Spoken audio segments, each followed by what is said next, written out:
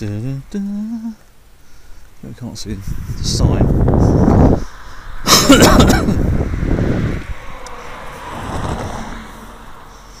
Almost.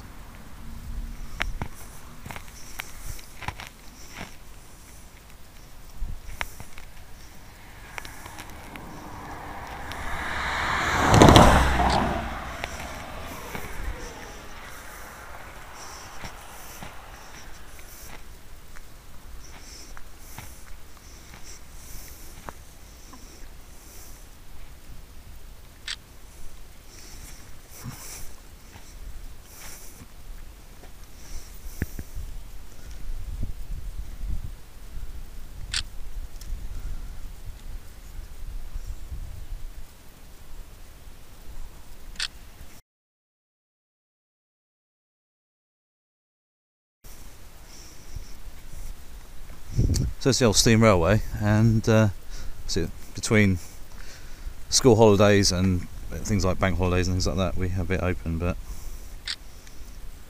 um, normally it's closed like this. So just wander around and see exactly what's going on. So that's quite a cool shot.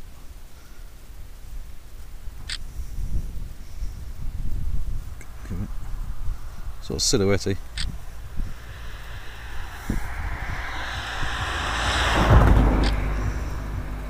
Come back a little more.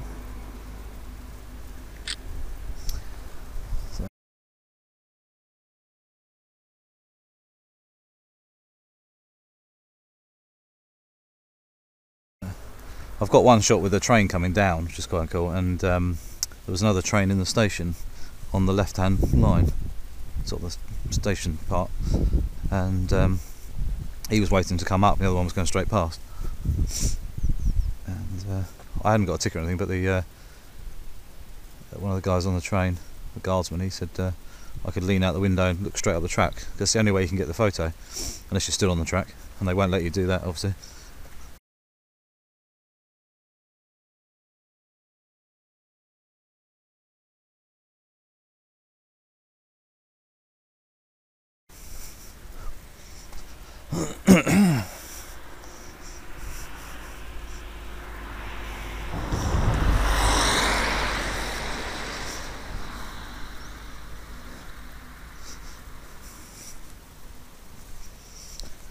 Shoot some detailed shots today, I think. Obviously, I use function button to change my focus points very quickly. Um, that's how quickly you can use the thing. But I use that with all my uh, Sony cameras. And then uh, you just, they just, you know, it's really, really easy to adjust everything. That function button there just stops you having to go in the menus all the time. You can do so much um, sort of adjustments really quickly. Um, it's actually really really cool and just makes life a lot a lot easier to, um, to sort of get your shots. This old crane here looks like a I think it's an old crane, train crane. it's kind of cool.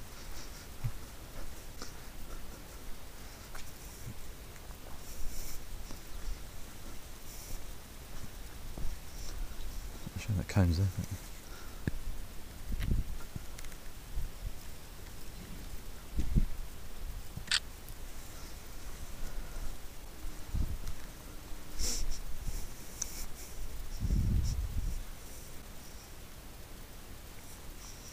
A pheasant. There.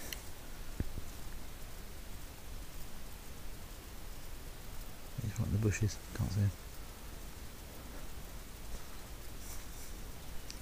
Places like this that are sort of teeming with wildlife, but they're not used to humans, so you kind of have to. Uh, there he is.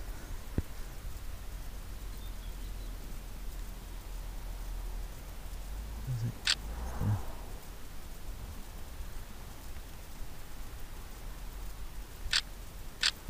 Got him there. Um, just looking for stuff like this. So you've got the um, sun coming through that broken sort of window. Just uh, it's back there. And it's got a lot of glare coming off it due to the um,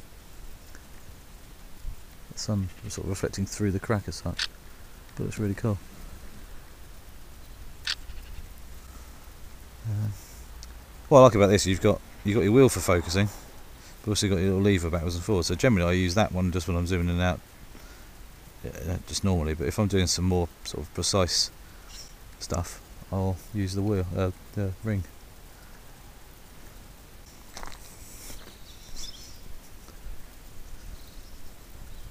Oh, look at that. Oh, is, he gonna, is he going to come back because he's circling? Buzzard, I think. There he is.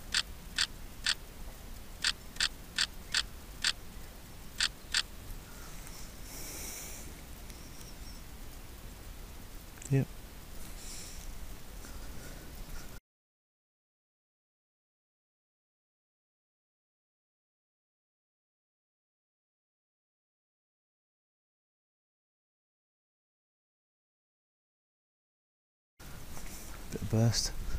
Depends if he's spotted me. That's the question. He's that bothered. He's moving away though. Oh, damn.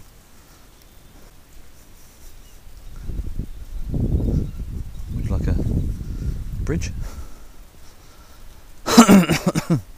Another bridge.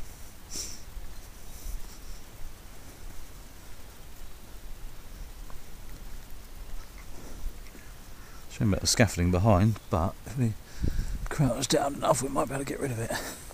Oh, just about.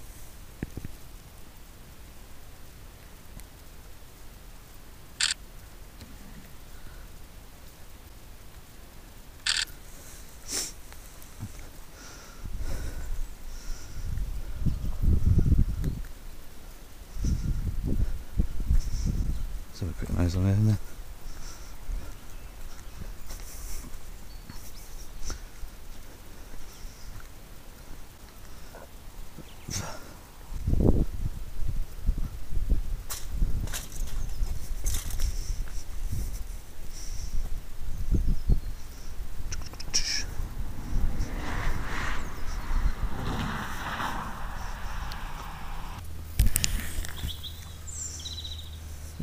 Bodiam.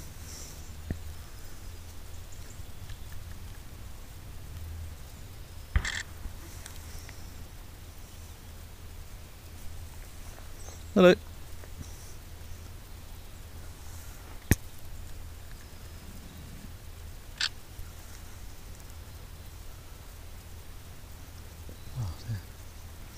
Lovely church, isn't it? Yeah, you know, it's funny. I've, I've been- lived around this place for years nearby and didn't even know it was here. Yeah. Until someone said to me, "Have you been to Bodiam Church?" I'm like, "No. Where the hell's that?" Well, I've only come here because my brother's buried over there. So, oh right. uh, it's just a beautiful cement. It's very quiet too. Yeah, no, it's lovely. Until we start our motorbike. The troubles with that one was there? he's had trouble, yeah. Oh, no. He's left his light on, it flattened the battery. Oh, it doesn't take long, I suppose, on small batteries. Yeah, it's sort of a- See you anyway. Yeah, take care.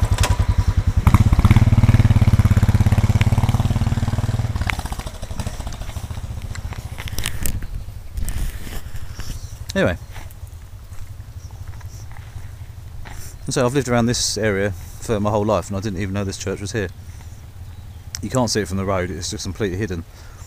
And um, this could be a really cool place to come at night time. By the looks of it, there's a bit of wildlife as well. So, but we've got plenty of um, snowdrops at the moment.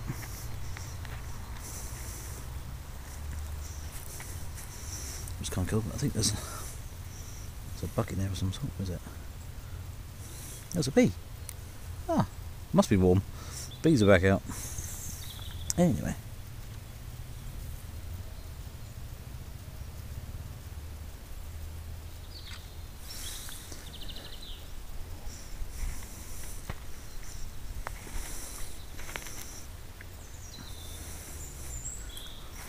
Let's just get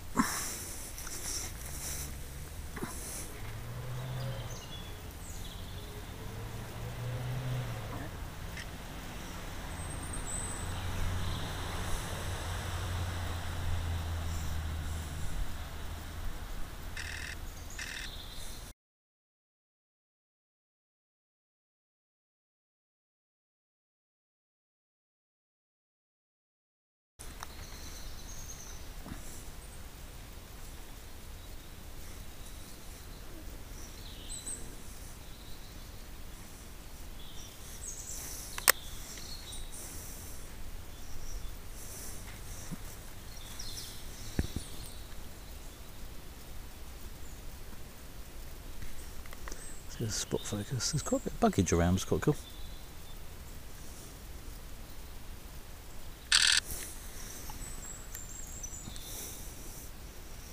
Little flies all coming out, the sunshine.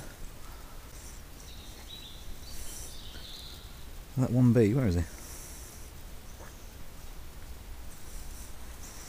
Yeah, what a cute little sort of build, old building. I'm far from religious. I'm not a religious man really, um, but I do find old buildings like this uh, very fascinating. And plus all the old, obviously the graves and things like that. You know, I mean, it's like that one there with the the hole through it. If we can get some light through it, kind of thing, that'd be quite cool.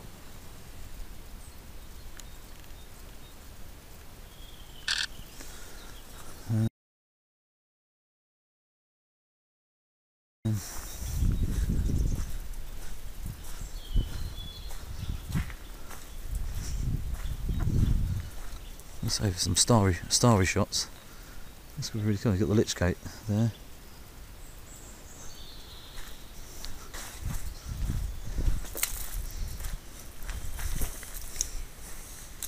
The road is literally just there.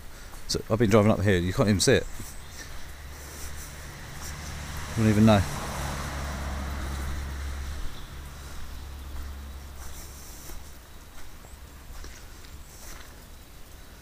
It's been there a long, long time.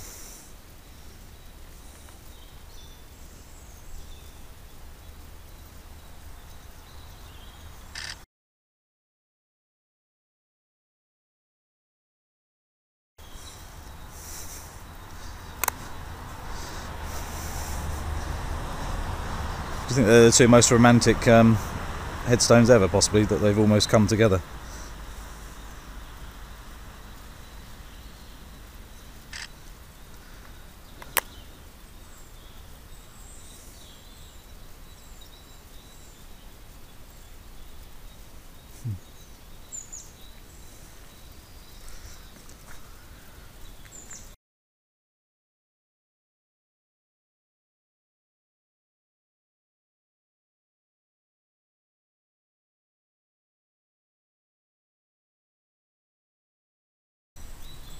And then there's this one behind bars.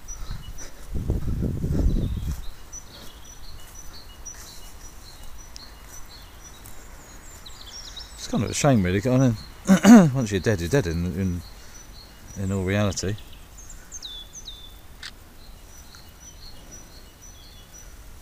But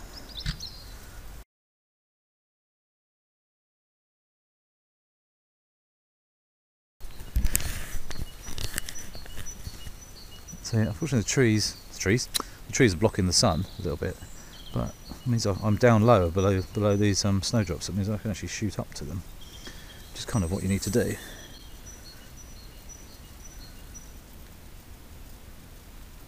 And there's plenty of light, so we get some lovely shooting through the, uh, the grass. You can see the sort of bokeh on the wet grass.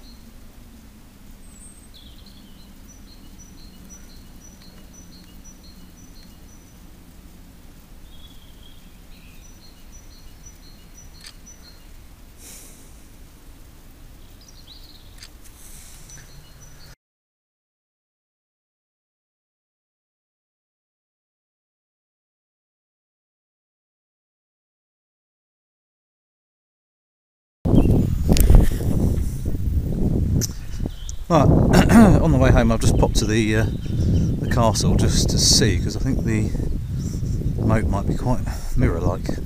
Actually, there's a little bit of um, ripple. It's not too bad.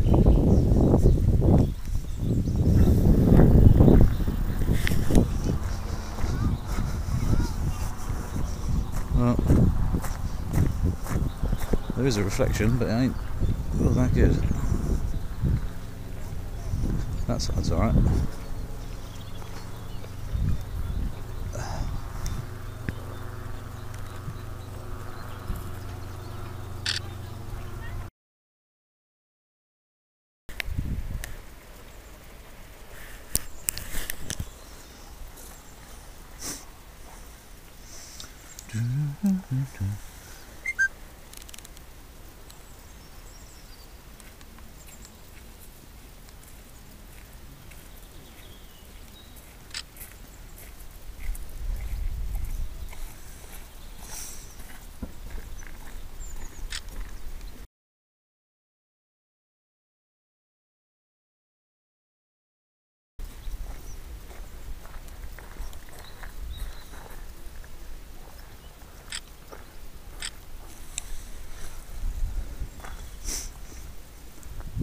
So with the action shots of the ducks flying a second ago, basically I had it in high, uh, which is 24 frames a second, also full uh, focus tracking, um, which works obviously pretty well. I think it missed a couple of shots, but I won't really know until I get home.